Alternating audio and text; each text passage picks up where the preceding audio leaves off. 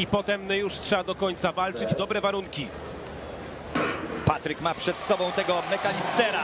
E, Będzie ścigał Patryka e, Vian, młody Francuz. Jego najgroźniejszy rywal w tej stawce. Ucieka tam mocno Luke Campbell. E, Narzucił duże tempo, ale rytm, tu się liczy rytm.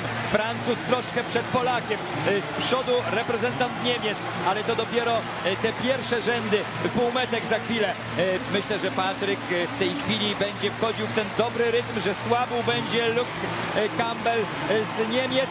Nie Francuz na czele, e, Patryk Dobek tuż za nim, nieźle też biegnie Pitt Miller z Czech. I ostatnia prosta, za chwilę dziewiąty rząd płotów.